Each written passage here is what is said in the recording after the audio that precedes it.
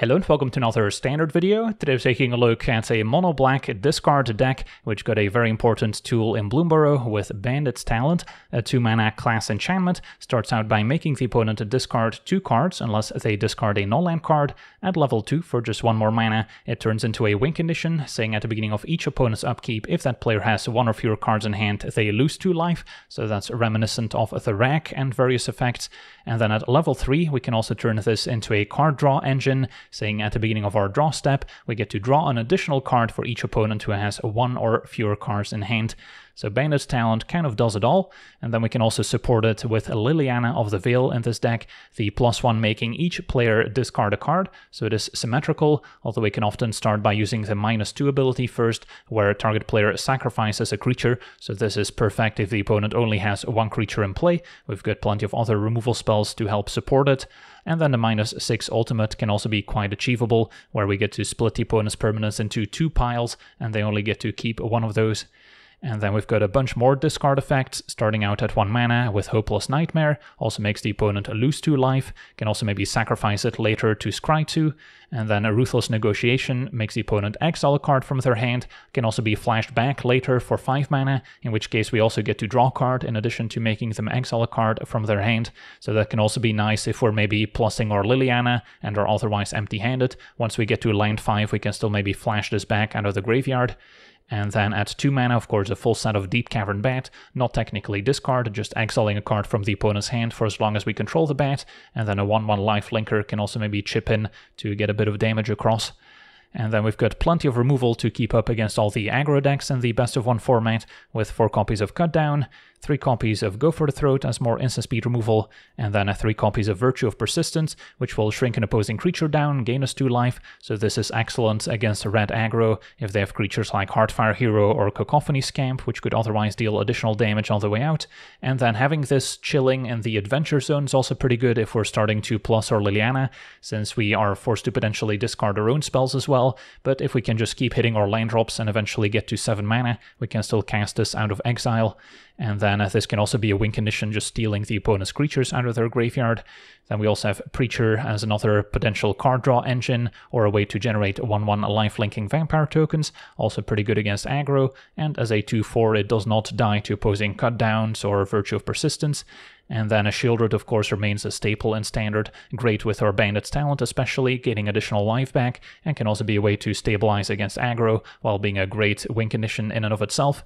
And at 5 mana, I'm playing a 1 Deepest Betrayal, also quite synergistic in a discard deck, potentially making additional 1-1 bat tokens, and then uh, 2 copies of Gix's Command as our answer to go wide decks. There's also some 3 mana sweepers we could play instead, giving minus 2 minus 2 exiling creatures in the process, but I've been liking Gix's Command as it's also way to maybe get back creatures out of our graveyard, and the plus one counters and lifelink can also come up. And then our mana base has some very useful lands as well, playing two copies of Blast Zone as another answer to various 1-drops, or maybe an answer to opposing artifacts and enchantments, which mono black otherwise can struggle with. And then Mishra's Foundry can be another win condition as well, just built into our mana base, turning into a 2-2 creature, can also be a way of protecting our planeswalkers.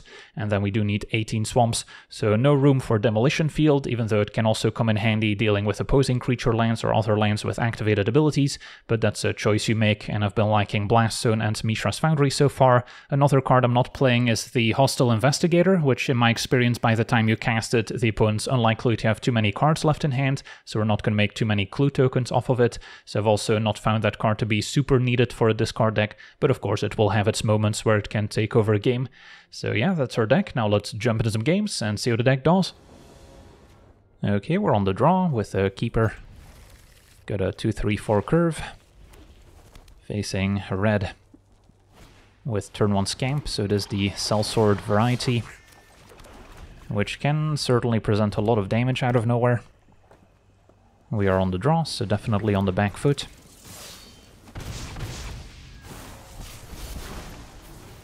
But yeah, if we can keep their board clear with Go for the Throat into Liliana, we can make it harder for the opponent to keep damaging us.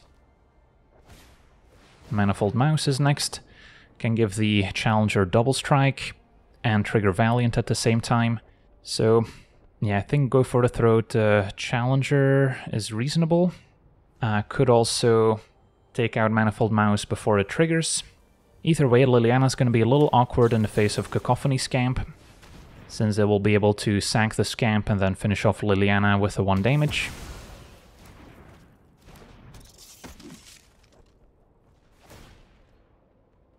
So ideally we find some other play we can make.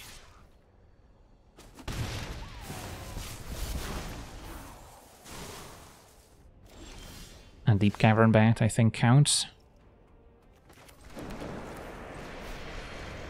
Try and set that up. And maybe have Sheoldred's gain us some more life back. Although the Scamp can always essentially finish off our Deep Cavern Bat by sacrificing itself. Opponent's got another Manifold Mouse in hand. Monstrous Rage, probably the scariest card here.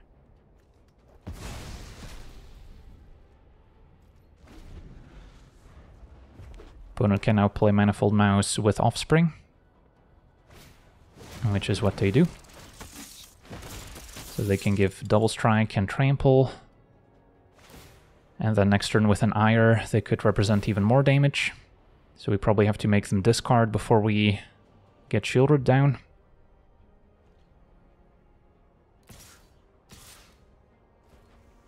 Yeah, if I were to trade for Scamp, then opponent gets Monstrous Rage back, and I can only make them discard one card next turn with either Talent or Liliana. So I don't think I can afford that. But uh, yeah, opponent could just decide to sack the Scamp anyway to get their Monstrous Rage back. In which case I could have at least gained one life and prevented one damage. But our opponent's happy to keep Scamp on the battlefield, and Gix's command was huge. So now we just deal with the Dreadmaw's Ire, prevent taking too much damage, and then next turn Gix's command can clean up quite nicely. Maybe Liliana Plus can soak up some more damage as opposed to playing the talent. Even though I have to get rid of my own talent now, since I want to keep Sheoldred's. And then I may as well attack, since I'm not planning to block. Just want to keep our life total high, and then Gix's commands can clean up next turn. I guess on the flip side I could have discarded Sheoldred and gotten it back with Gix's command, especially if they decide to take out the Deep Cavern Bat. If they don't take out the bat, I can put plus one counters on it instead. Their opponent will finish off Liliana. You're gonna need a good Undertaker. Sorry, I'm not interested in dying today. And our opponent does now sacrifice to cash in the Scamp to take out the bat. So they have a Monstrous Rage in hand. And uh, yeah, that does mean that at least now with Gix's commands I can cleanly wipe their board, otherwise they could have kept one creature in play. So it's not a bad thing that we discarded the Bandit's Talent necessarily. So they can Monstrous Rage to save from destroying power 2 or less, but that creature would still die to each opponent sacrifices creature with highest power, since they resolve top to bottom. So our opponent keeps Monstrous Rage in hand, still potentially a threat. But Sheoldred can hopefully stabilize us here. Opponent's got a Heartfire Hero. Yeah, that one's extremely scary with Monstrous Rage. So I'll be forced to trade Sheoldred for Heartfire Hero.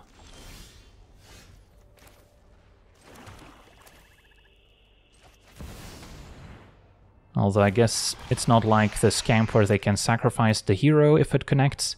But uh, yeah, if they top deck a Sellsword, we just die. So maybe the play is to just take it and then next turn the hero is going to be a little bit smaller again. Can also use our Mishra's Foundry, perhaps. Yeah, I guess trading now doesn't make too much sense when they would get the full benefit of Monstrous Rage. Opponent actually doesn't cast it, that's surprising. Maybe they're afraid of a removal spell. And now Blast Zone gives us some speed removal for Heartfire Hero, so that should uh, help us out quite a bit.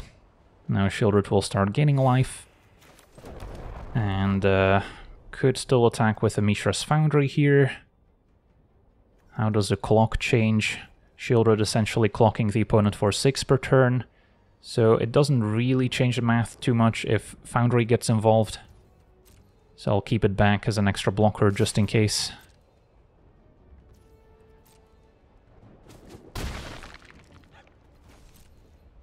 And then now I'm fine taking one from Heartfire Hero, but if they move all in with Monstrous Rage, we can sack the Blast Zone.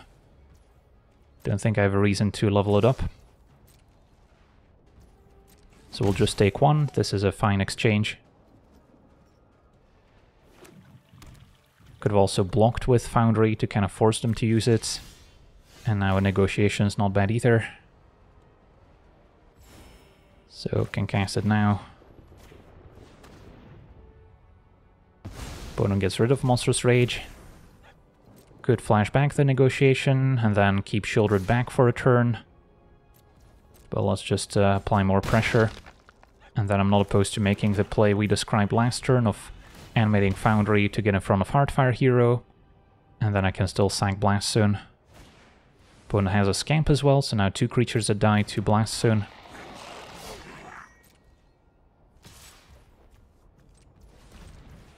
And then I could technically also use Mishra's Foundry for mana to activate Blast Zone. But uh, yeah, opponent has seen enough. On to the next one. Alright, we're on the play with a keepable hand. A Nightmare does have kind of a sneaky synergy with Blast Zone if you need to deal with some 1-drops. You get to scry 2 in the process. So that can be a pretty decent interaction. Well, let's see what we're up against. Mountain discarded, opponent Rakdos Collars now. And a Vine Lasher, so opponent on Lizards. Okay, I don't think I need to go for the Throat Vine Lasher, let's just hit them with a double discard.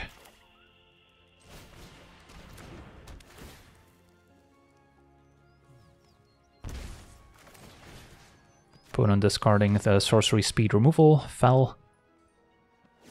Getting a lot of comments why I'm playing Go for the Throat over fell, but the instant speed just makes a world of difference.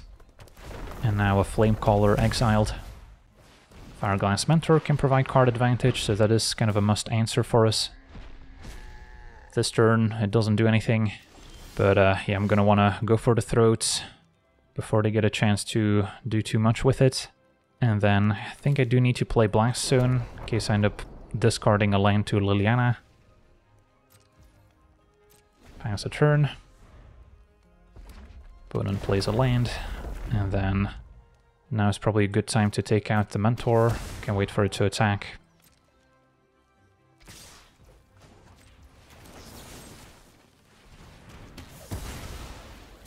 Alright, so our opponent's left with Vine Lasher and one unknown in hand. And uh, yeah, we can just plus Liliana now to get rid of it. Since Vine Lasher is not going to apply meaningful pressure to Liliana. If this is instant speed removal for Planeswalkers, of course we would regret it, but it was a god, in fact. Ojer Axonil. Doesn't uh, work with Vine Lasher, only red cards, but there may be some other synergies with the other lizards. And drew go for the throat, so can just go for the throat Vine Lasher and plus. Could also minus and keep go for the throat in hand, but I think it's probably fine to just uh, add more loyalty to our Liliana. Since most of the lizard creatures are not going to have haste. I'm tired of your secrets.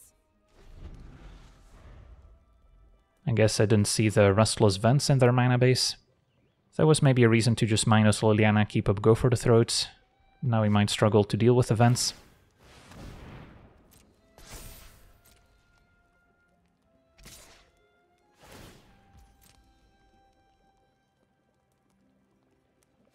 Opponent discarding a Mentor.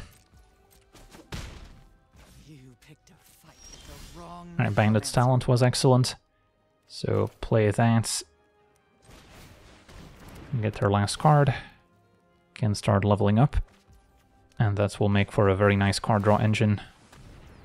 And then Liliana will kind of force them to use vents to attack it for another few turns, which means that if they don't draw lands, they'll probably end up discarding whatever they drew into. Opponent did find a land, so that's good value for them. They could also use the vents to maybe look for a land to get in play. You know, I think you look But yeah, Liliana bought us a lot of time. And we can level up. And then, yeah, I don't need to activate Liliana, I can just pass. Make them waste another turn activating the vents. At some point we'll draw Cut Down or Go for the Throat to take it out. Only instant speed removal works. Opponent discarding their own removal spell. Looking for creatures they can cast. And now we get to draw two. Another Bandit's Talent. Those are pretty good in multiples too. And then hope to uh, pick up an additional land to eventually cast Gix's command. Although at the moment I don't have any creatures to return. Bandit's Talent also win condition, opponent's down to 8. So we would be out racing a Restless Vents here. If I minus Liliana, our opponent could animate the vent still, even though it's tapped, to sacrifice it instead of the Flame Caller. Don't know if that's what they want to do here. But I think that's still our best play, and yeah, our opponent scoops it up, they're just too far behind, we're drawing two cards per turn, about to be three, so there's no catching up. On to the next one. Okay, we're on the draw, we've got what looks like a keeper. Opponent green-white, maybe a rabbit deck. Start with a nightmare.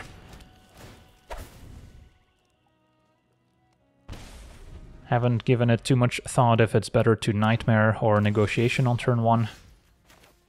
Opponent Abzan colors, so some sort of Abzan control deck with lots of sweepers. So if I play the bat, there's a decent chance it gets removed. So I might be better off going double 1-drop discard, and then they might get rid of their removal spells for the bat, at which point it can maybe take something else. Opponent exiling a cut down, so yeah, that was already an answer to the Deep Cavern Bat. And another cut down discarded. Opponent does have a cornucopia for more ramp. And now we face an interesting decision. Could play Preacher to start drawing cards, or we can play the Bat to maybe take away an impactful 4 or 5 mana play. And then Sheoldred can maybe carry us to victory. I'll go with the Bat here. Alright, opponent had two lines left, so playing Preacher would have worked out a little bit better, but now we do have that information. If we draw a Bandit's Talent, we can make them discard a bunch of lines. And our opponent's just gonna start activating Mirrex to make tokens, it seems. So I'm fine playing a Sheoldred here. That's the fastest clock, even though Preacher drawing cards would be nice.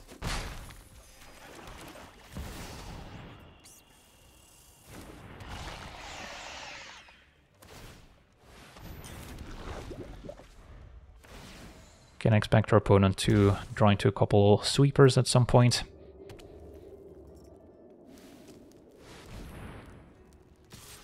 And our opponent's on empty. So they must not have top decked what they wanted to. Or they drew a sweeper and they want us to overextend. Playing Preacher here is maybe a little bit ambitious since we have enough pressure in play as is. Can still sack a Nightmare to scry or level a Blast Zone. So let's just pass.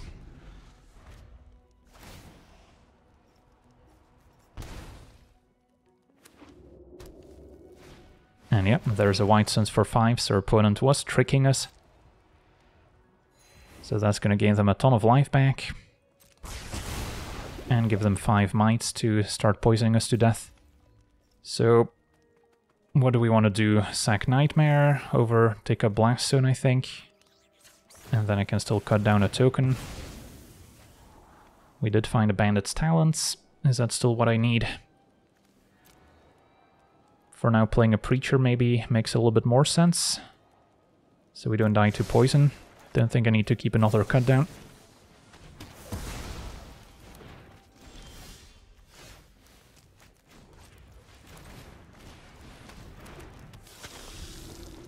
Yeah, White Suns for 5 is kind of the threshold they needed to wipe the board. At least no removal for Preacher, it seems. And they can start activating Mirrex twice per turn here. So yeah, the poison's gonna add up quickly.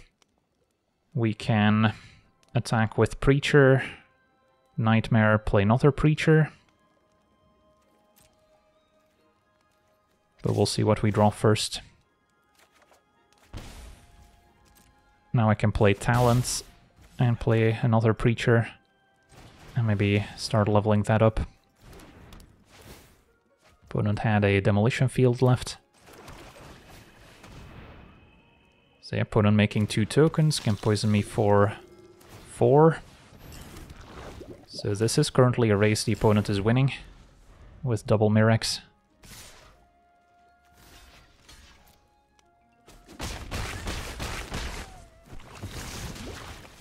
But staying back is not going to help me either, since our opponent gets to make two replacement tokens. So, yeah, I think we're just dead here, unless Preacher draws into some answers. Gix's command would help.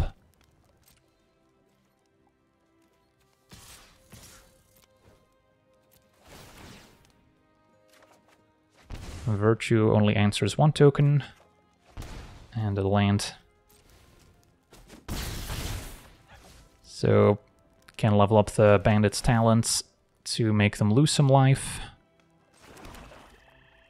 Negotiation gives me a redraw, but there's no one mana card that saves me here. So yeah, we are just dead.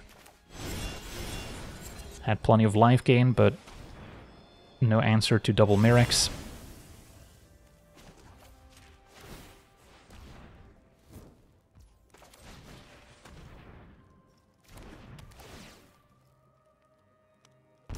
And the deadly cover-up left in hand, so yeah, sweepers plus Mirrex as your win condition is kind of what our opponent's plan is. And yeah, it worked out quite well here. Just making sure they kept hitting their land drops and discarding their removal. And then eventually they'll draw into a sweeper to stabilize, while Mirrex does the rest. And yeah, lands with activated abilities are a pretty good way to beat a discard deck. If you can just keep hitting those land drops, eventually you can activate them and take over. And we just didn't draw the right answers this time. On to the next one. Okay, we're on the draw. Our hand could use a third and fourth land for sure, but uh, for now we'll keep. Opponents also maybe on the discard deck. Yeah, I don't think I'll be able to keep Deepest Betrayal in hand for long, so may as well get rid of it now. Return the favor. Opponent discarding a swamp. Opponent does have the Deep Cavern Bat, probably taking Go for the Throat. And then we don't have a 2 mana play.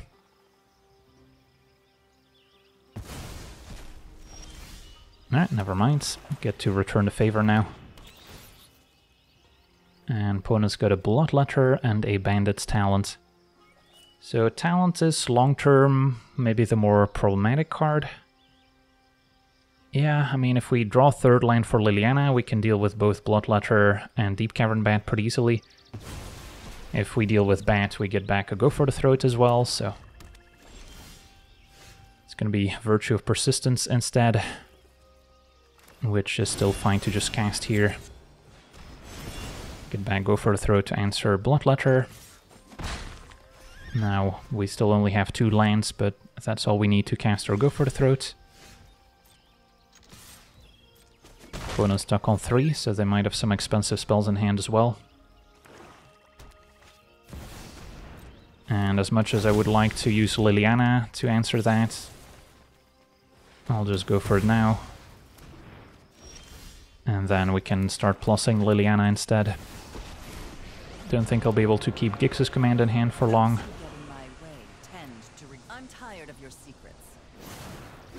And opponent had a Rotten Mouth Viper left, could also be good in a discard deck. Opponent's more likely to be empty-handed by the time you play it, and then it can take over. Good with cards like Hopeless Nightmare and Tiny Bones joins up. Now the Pickpocket. Mills another Liliana, Sheoldred, which we cannot cast.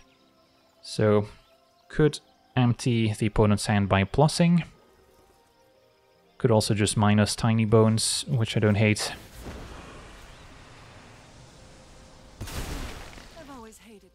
And then play Preacher.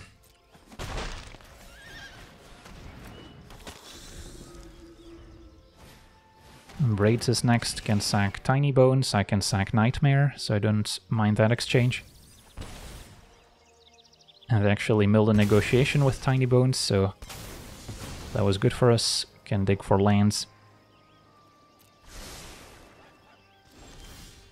And then minus Liliana again. This was boring. Fine. I know when I'm Can not play Sheoldred and then attack, gaining us life when Preacher draws a card. And then we still have a Liliana left, so our opponent's pretty far behind. On to the next one. Okay, we're on the play with a keepable hand. Some early Nightmares, cut down for aggro, and then hopefully Sheoldred to stabilize and take over. Let's see what we're up against. Opponent discards a mountain. And a Cacophony Scamp. So this is the uh, Callous Sellsword build of the deck. Okay, Bandit's Talent's not a bad draw. So I can go Nightmare, keep up Cut Down, or play Talents. Yeah, I think I go for Talent here. And then keep the cheaper cards for later. We'll still have to decide whether or not to level up Bandit's Talent next turn. Opponent playing Coming in Hot. And they are playing green as well, plots a Slick Shot. That we cannot make them discard anymore. But Swamp was a good draw, since now we can play the Nightmare, level up Talent, and still keep up Cut Down. And I probably want to wait for them to cast a pump spell to then cut down in response. If they have a second pump spell, then they might get their creature to survive, so that would be bad. But hopefully with all this discard, we made it so that's less likely. So two cards left in hand, I'll just take one from Scamp. Opponent not prepared to go for it yet. Could cut down end of turn. And then if they want to save the Scamp, so be it. At least we don't need to deal with Scamp dying and maybe taking out a Sheoldred. And then Slickshot by itself might struggle to deal 18 damage. Yeah, let's try that. That works. Didn't want to do it in the middle of combat in case they had enough pump spells to save it. Did draw another cut down, although it's still tempting to just tap out for Sheoldred here. Leveling up talent also an option, but let's get Sheoldred in play first. They're unlikely to have many clean answers to it. And the life gain's going to be pretty important. Alright, opponent has the Questing Druid's Adventure, Finding Scamp, and another Questing Druid. At least those cards are in exile, so opponent still had one card in hand, losing two to the talent. But they do now have quite a few extra cards to maybe work with, if they decide to play those cards from exile, which in turn maybe gives us the opportunity to discard the cards they have in hand. Opponent starts with Questing Druid, so they're still not committing the Slick Shot it seems. They found a Monstrous Rage, which they have to cast this turn, so I guess they're going for it. And then they would still have a green mana left. With a role token on Slick Shot, it's still a 2-3, so still within range of cut down. But if they have another pump spell, they can maybe get it out of range. So a very interesting turn here. Opponent's got another Slick shots. So now all those exiled cards will go to waste. And we found a Go for the Throat, so this is kind of the best case scenario. We can answer both of their creatures. I should probably cut down now. So we don't run into any troubles. And honestly, if I just go for the throat, they might just give up. In case they have some green hexproof trick. Or I could wait for them to commit an extra pump spell, since just taking one from the slick shot is fine. Now they can still play Questing Druid. We also have a Mishra's Foundry that can turn into a threat. And Bandit's Talent is also doing damage. Ooh, opponent found a Witchstalker Frenzy, fair enough, so that's an answer to Sheoldred. So the game goes on. Can take out the Slick Shot now. And then either level up Talent or attack with Foundry. Which would put them to 1. Mm, Deepest Betrayal, still missing a land. Yeah, I guess putting them to 1 and then threatening to win with Bandit's Talent is fine.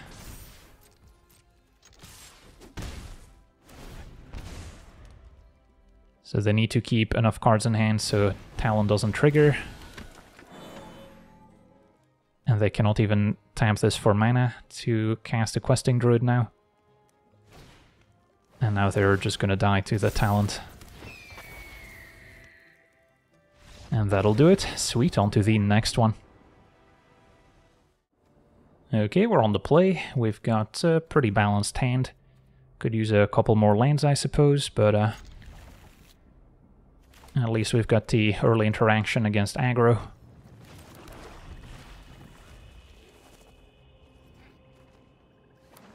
Put on a green-white, maybe a rabbit deck. So let's have a look. Never mind, it is an Abzan control deck, so similar to what we've already faced. And the our hand's not particularly well set up for it. Opponent's got multiple answers for the bats. Probably still wanna take the virtue, force them to use cut down. No strong arguments for either one. Maybe taking cut down makes more sense so they don't have that instant speed removal for later. But if I take virtue and they cut down, then they can go cornucopia while having cut down available. So maybe that's a reason to do it this way.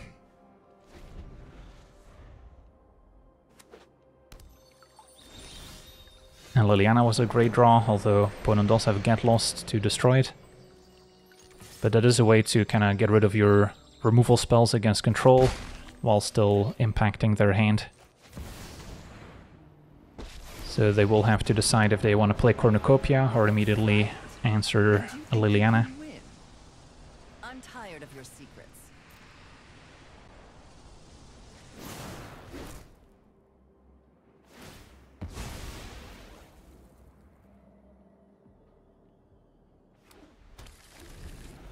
And for now they also didn't get to cut down bats. Now they do get to double spell cut down and get lost. Nope, goes for Cornucopia, which they drew in the meantime. And they can still cut down the bat. But that means we get to plus Liliana for an extra turn.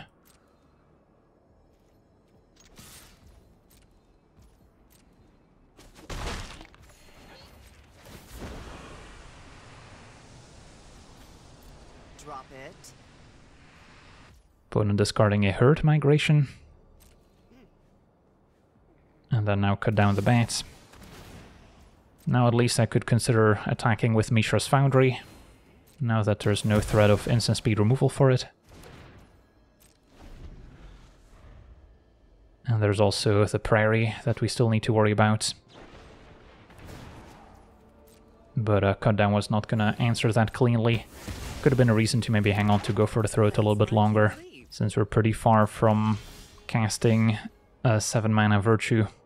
Alright, let's uh, animate Foundry and maybe just use the map token instead of attacking, since I kinda need to hit my land drops.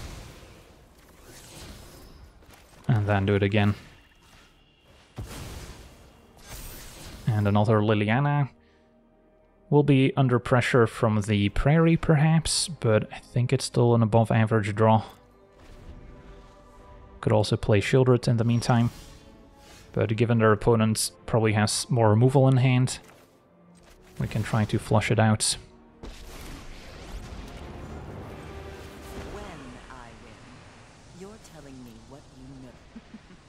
we all have things we'd rather. So Virtue is gone. Tap land means Prairie cannot attack. And now I can plus Liliana in combination with Deep Cavern Bats, get rid of our Virtue. Or we can commit Sheoldred and hope their last card's not an answer to it, as we see a Rex discarded. Yeah, the safest play would be to play the Bats. It does give the opponent the opportunity to animate Prairie and pressure Liliana, whereas Sheoldred could maybe prevent that. Yeah, right, let's play Sheoldred. If their last card's removal, I'm gonna be sad, but it could just be some expensive 6 or 7 mana card. Sunfall makes sense as well. So that does answer Sheoldred, sadly. Can empty the opponent's hand in a multitude of ways. I do want to keep taking up Liliana. Foundry is a 3-3, so it could trade for a Prairie, since it only pumps other creatures yeah, I think that's reasonable. And then next turn we can ult Liliana.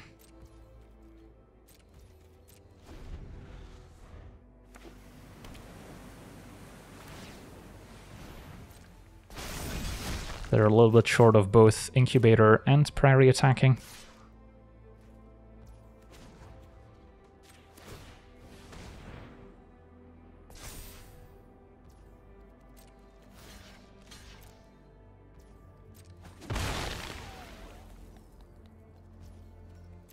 Now I don't have to ultimate Liliana, can just wait another turn and plus to keep it in play. And then for now, could play Deep Cavern Bat as an extra blocker, or just play Blast Zone, discard the Bat, and then Foundry still fine to trade for Prairie. Yeah, it's a little bit risky if they draw a Get Lost. But if I ultimate, we essentially get rid of three mana sources. That's probably still good enough to kind of win the game here, since I can Gix's command back I guess uh, Sheoldred did get exiled, so it would just be Deep Cavern Bat. Alright, so maybe I do just plus for another turn to try and keep our Planeswalker in play.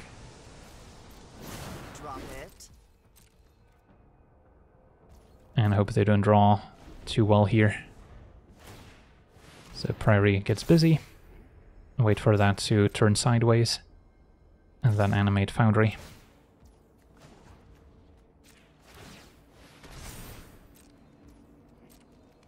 And then I could still take a Blast Zone.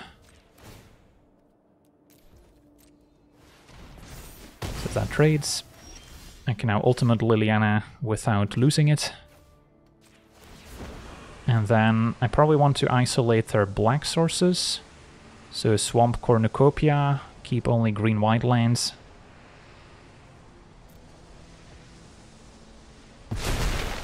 And then, uh, yeah, we'll just pass a turn.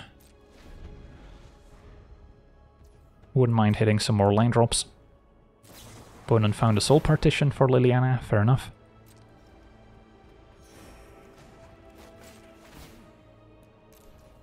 Blast Zone could also be an answer to the Cornucopia. But I do need to find a threat here, so I think for now still replay Liliana. And get their last card, keep Gix's command, which can return the Deep Cavern Bats at the very least. And this was an excellent draw. I think I'm fine plussing Liliana to potentially present another ultimate. You won't be outsmarting me. And the opponent scoops it up, so the deepest betrayal can go the distance. Awesome. So yeah, overall this mono black discard deck should be favored against most red aggro decks, even though you can still lose to them if they have a particularly fast start and you maybe don't have the early removal for their creatures. That can certainly happen if you focus too much on the discard spells and the opponent just kinda takes you out in the meantime. So it's not a 100% win rate against red by any means, but it should still favor the discard deck, especially if you have enough early removal spells at the ready. And then when it comes to some of these grindier matchups like Abzan Control or Blue White Control, those can potentially still kind of go over the top of what you're doing, especially if they have creature lands or other lands with activated abilities, since I did not include Demolition Field in my mana base, which is a choice, but I found Blast Zone to be pretty useful as another answer to potential 1-drops, can also answer artifacts and enchantments, which you can otherwise be called to, and then uh, Mishra's Foundry has also been excellent as an extra threat, or as we saw here, a way to protect our planeswalkers. So yeah, this mono black discard deck is certainly one of the many contenders in the current best of one standard metagame. So that'll do it for today's gameplay. Wanna thank you for watching, hope you enjoyed, and as always, have a nice day.